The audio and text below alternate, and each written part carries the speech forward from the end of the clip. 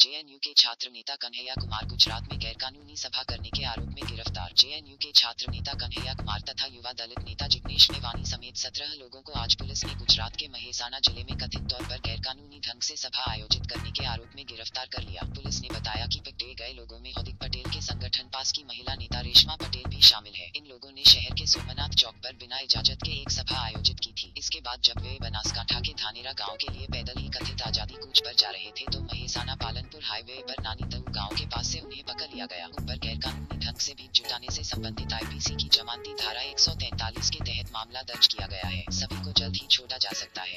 जे